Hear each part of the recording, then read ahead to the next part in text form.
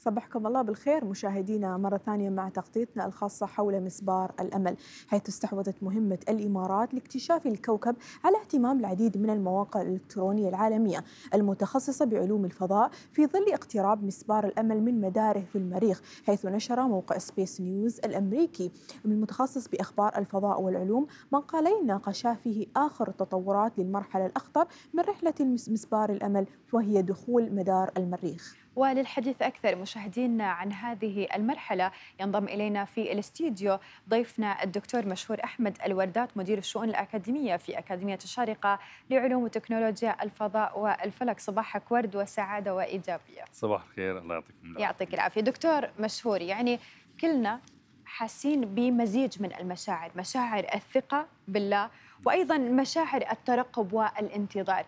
ولكن عندك أنت أهل الخبرة خبرنا أكثر عن المشاعر في هذه اللحظات عند الناس. بارك الله فيكم.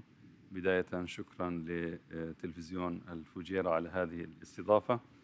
و أيضا الشكر موصول لكل من ساهم في هذا الإنجاز من الإدارات العليا في الدولة. صحيح.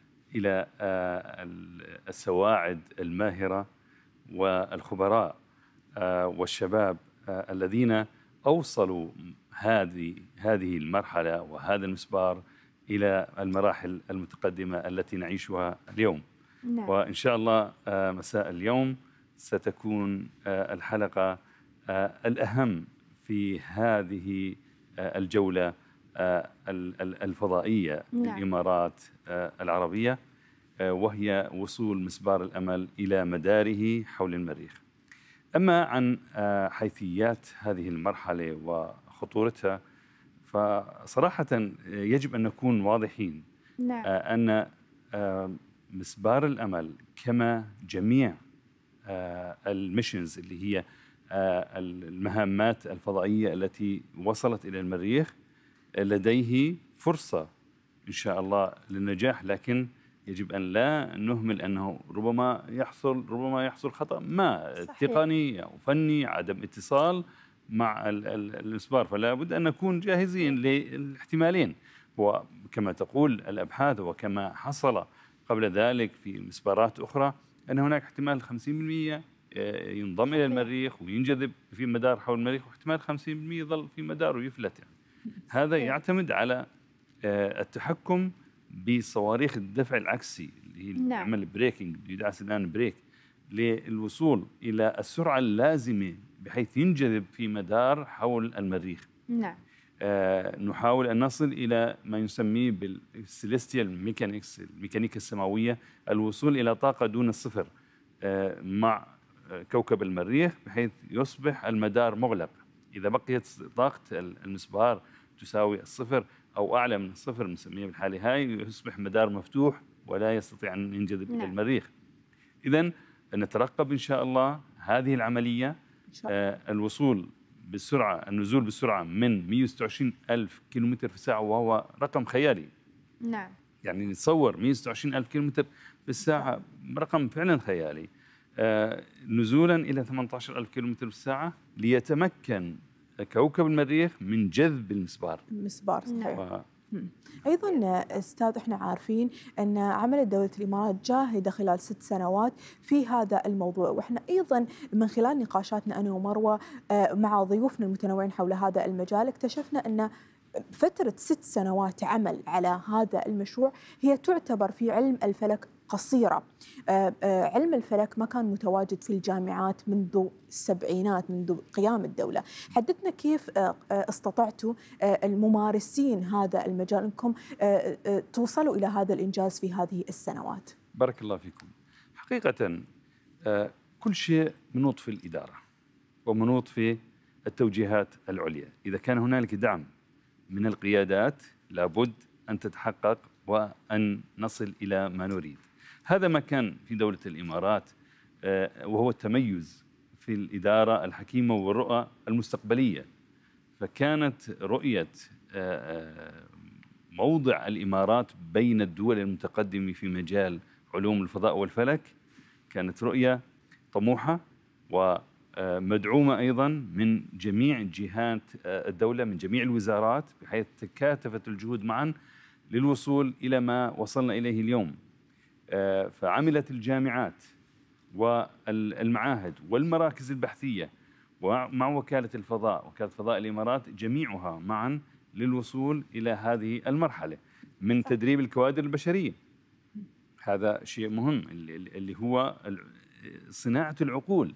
أنا ما ما ما ممكن أستورد كل شيء من برا حتى العقل. لابد أن نصنع العقل المبدع. آه، ابن الوطن الشاب الصغير اللي, اللي أحيانا قبل ست سنوات كان بعضهم سنة أولى جامعة الآن أصبح عضو في في المشروع آه، فلذلك نحن ننظر إلى إلى طالب المدرسة الثانوية أو الأساسية على أنه هذا مشروع مستقبلي صحيح. آه، سيكون معنا إن شاء الله صحيح. في المستقبل القريب وست سنوات في عمر مسبار الأمل إذا ما قارناها ب آه، على سبيل المثال مشروع أبولو أخذ ما يزيد على 11 سنة لما وصل الأول مركبة إلى إلى إلى القمر. فمشروع طويل جدا كان. صحيح. ست سنوات آه، تم خلالها تحقيق الرؤية تم خلالها آه، بناء المسبار وإرساله آه، بعقول وبسواعد إماراتية وبمشاركة أيضا عالمية. دون تفرد أيضا. كان لابد من مشاركات عالمية من جامعات عالمية وأيضا مراكز بحثية عالمية. صحيح. دكتور مشهور بنستعرض ويا بعض يعني الدور الكبير لأكيد قيادتنا الحكيمة والرشيدة وشيوخنا في متابعة مثل هذه المشاريع. يعني الآن خبرنا عن دور القيادة الرشيدة والحكيمة. في متابعة هذه الأمور. وأيضا في أن نحن نوصل اليوم مسبار الأمل إن شاء الله أنه يوصل للمريخ. إن شاء الله. كمان نشاهد آه هذا ما وصلنا إليه من آه نجاح آه سواء في إرسال رائد الفضاء آه المنصوري إلى محطة الفضاء الدوليه وكان وكان انجازا عربيا وهو رائد الفضاء الأول عربيا الذي يصل إلى محطة الفضاء الدولي ويمكث فيها ثمان أيام. ويعود والحمد لله عاد بسلامه كانت هذا كان الانجاز الأول. والانجاز الثاني الآن هو مسبار الأمل الذي صحيح. سيزودنا بدراسة مستفيضة عن جو المريخ وإمكانية آه، آه، الاستيطان البشري مستقبلا على المريخ. إذا سيكون لبنة عالمية أساسية في دراسة إمكانية استيطان البشر على المريخ. صحيح. لذلك ستكون المعلومات التي سيأتينا بها مهمة جدا. هذا كله تأتى من دعم القيادات صحيح. العليا في الدولة. الدعم المعنوي والدعم المادي والدعم العلمي آه، التحفيز آه، والاستمرار التحفيز آه، يوما بعد يوم للمراكز الأكاديمية للجامعات لمراكز البحث للشباب. وآخر مشروع قبل أيام أطلق له مشروع رائد الفضاء العربي على مستوى الوطن العربي. صحيح. تقدم له آلاف الشباب. وتم اختيار مجموعة المشاركة في برنامج جديد برنامج رائد الفضاء العربي وإن شاء الله سيستمر البرنامج على سنوات أخرى إن شاء الله. فهذا أيضا دعم من القيادة العليا في دولة الإمارات العربية ليس على مستوى الدولة فقط وإنما على مستوى الوطن العربي أيضا صحيح. أيضا آه، أستاذ ذكرت من أهم رؤاكم الآن آه، من خلال وجود هذا المشروع اللي هي تدريب الكوادر البشرية بشكل أكبر لأنهم هم من سيصنع المستقبل.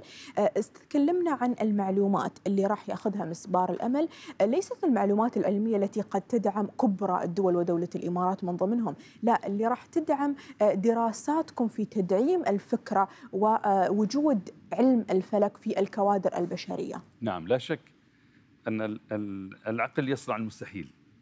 ولا بد من الاستثمار في العقول. لا بد من الاستثمار في الشباب. من هنا أيضا أتت آه، المبادرات في الدولة في جميع إمارات الدولة بأنه لا بد من وجود مراكز أكاديمية تدريسية لبناء جيل جديد من الشباب قادر على تحمل المسؤولية مستقبلا وقادر على المساهمة في مثل هذه المشاريع. فعلى سبيل المثال أتت أكاديمية الشارقة لعلوم وتكنولوجيا الفضاء والفلك التي أنشأها سمو الشيخ الدكتور سلطان بن محمد القاسمي عضو المجلس الأعلى حاكم الشارقة أطال الله في عمره. كانت مثالا لهذه المراكز فتم إنشاء الأكاديمية تم طرح برنامجي أو ثلاث برامج ماجستير أحدها ماجستير علوم في علوم الفضاء والفلك ماجستير العلوم في نظم المعلومات الجغرافية والاستشعار عن بعد وماجستير قانون الجو والفضاء. صحيح. هذه البرامج وإن شاء الله مستقبل في المستقبل القريب ستكون أيضا في مرحلة الدكتوراه. لدينا الآن عدد من الشباب من المواطنين ومن العرب آه، التحقوا في هذه البرامج. أمس كان لدي محاضرة وكنا نتحدث عن عن جو المريخ وفي مادة اللي هي علوم الكواكب.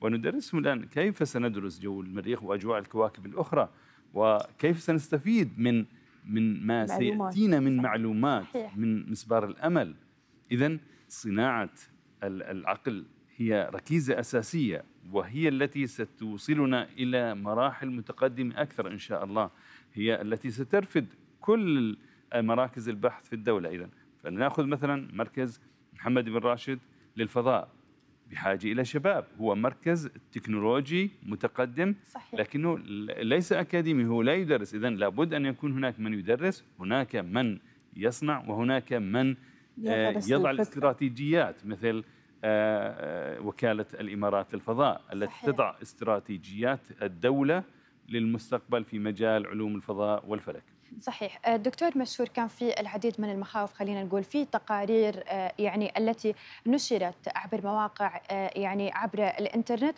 واللي هي انه كان في مخاوف انه يكون في اصطدام بأحد الكواكب إذا فشل في أداء المناورة خلينا نقول ودخول يعني مسبار الأمل إلى مدار المريخ. ولكن مثل ما حدث مع خلينا نقول ناسا الفضائية ومهمة ناسا الفضائية في عام 1999 خبرنا أكثر هل آه هذه النسبة خلينا نقول من الفشل اجتزناها ولا بعدها في مخاوف اليوم؟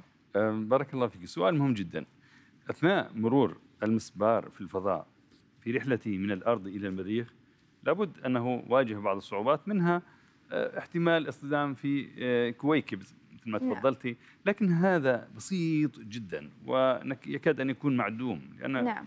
الفضاء واسع جدا الخطورة تكمن في عملية لنسميها التحام جاذبي بين المسبار والكوكب اللي هو المريخ. نعم. عملية الالتحام الجاذبي هنا تكمن الخطورة. حقيقة لم نجتز المرحلة بعد.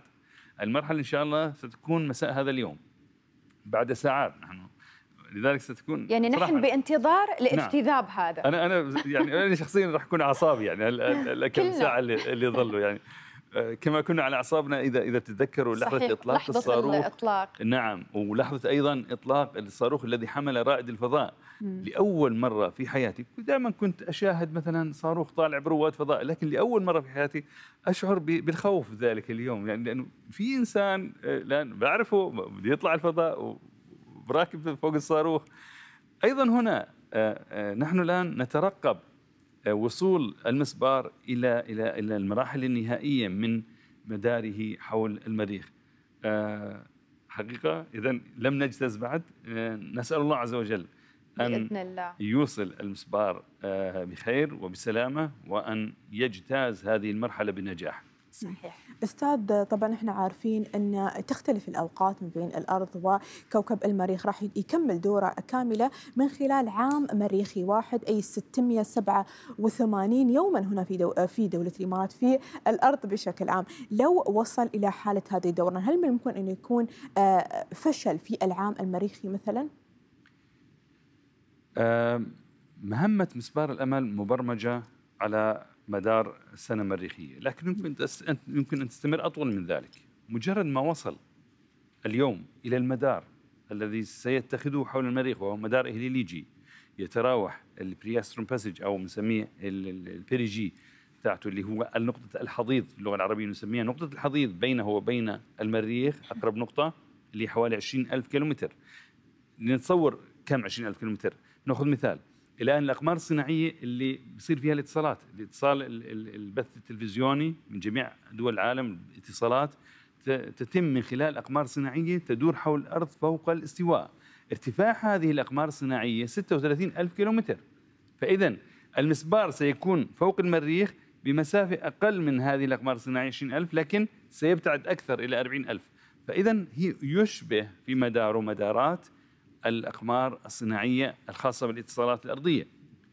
إذا سيتخذ مدارا إهليجيا وسيدور حول المريخ كل 55 يوم تقريبا راح يعمل دورة لكن سيستمر إلى عام مريخي كامل اللي هو تقريبا سنتين أرضيات تقريبا اللي 687 يوم أقل شوي من سنتين أرضيات. لكنها سنة واحدة بعمر المريخ أو على المريخ سنة واحدة. خلال هذا العام مجرد اليوم ما نجح إن شاء الله يبقى الخطوة التالية نجاح عمل الأجهزة.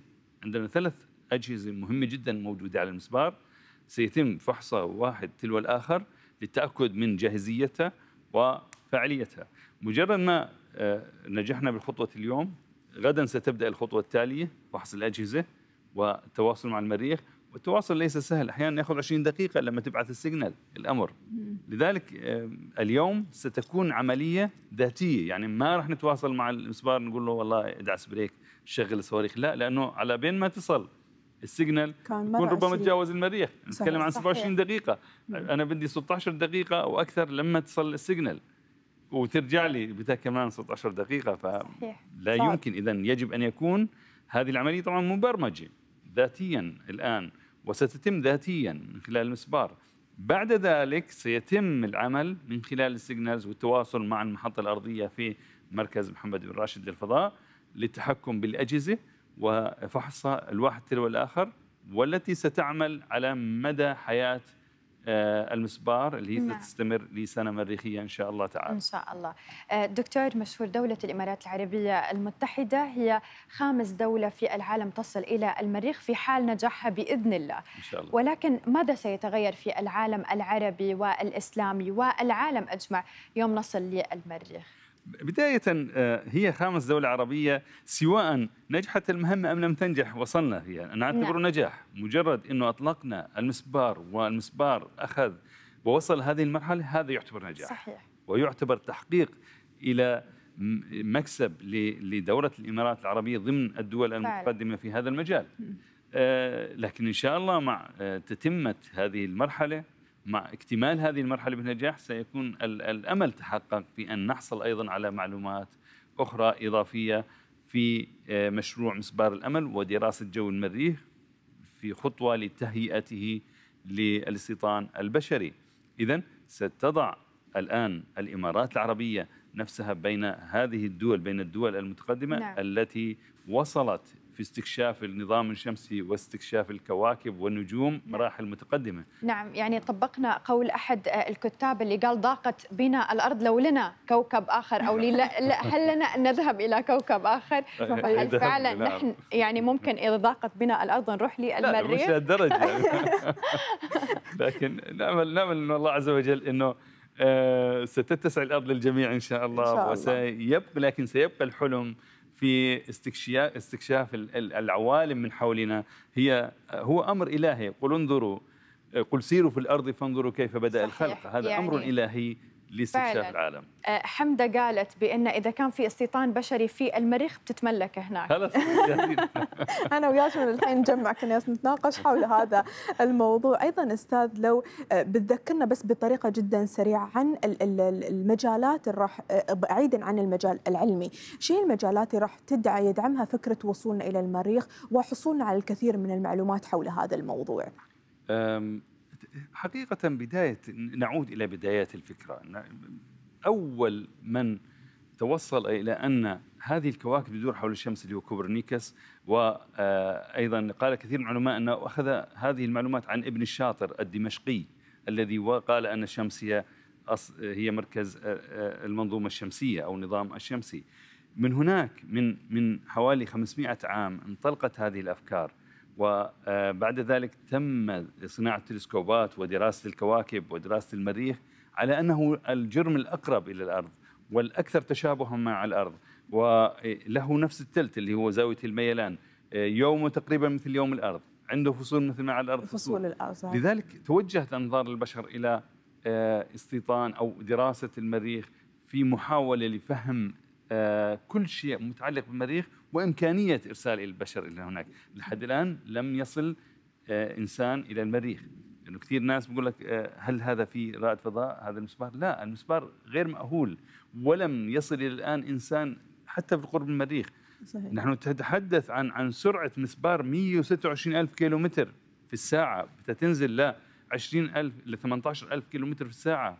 خلال 27 دقيقة ما بتحملها الإنسان الجسم هذا. البشري صحيح. صحيح. التسارع الهائل هذا. لذلك قضية الاستيطان مرحلة متقدمة. إيلون ماسك الآن في شركة سبيس إكس بيحاول يصنع ال- ال- الصواريخ اللي بتروح وبترجع إذا شفتوها. على. التلفزيونات. صحيح. في المرحلة الأخيرة انفجر واحد عندهم. لسه يعني لم يصل الإنسان إلى الكمال في عملية الاستيطان؟ صحيح. آه، تطورنا أستاذ في الذكاء الاصطناعي بشكل جدا كبير من الممكن وإحنا نتطلع حقيقه إلى أن إحنا ننجز هذا آه، المشروع بالمهمة الكاملة ونقدر إن إحنا نستوطن لا المريخ ان شاء نعم. الله. هذا هو الحل. الحل هو الذكاء الاصطناعي. صحيح. أن تجعل ال- المشين هذا أو الروبوت قادر على أن يتصرف بذاته. صحيح. كما الآن المسبار سيتصرف بذاته. لحاله راح بهدف خدمة braking. البشرية نعم صحيح. صحيح. وإلا, وإلا إذا كل شيء كان بعيد ما قدرت أتحكم به راح يفلت صحيح. هذا معنى الذكاء صحيح دكتور طبعا مشهور أحمد إحنا نود حقيقة أن نشكرك على تواجدك اليوم معنا وعلى المعلومات اللي زودتها لنا الله يبارك فيكم وشكرا على التغطية وشكرا على الاستضافة نورنا بارك تسلم. الله فيكم جميعا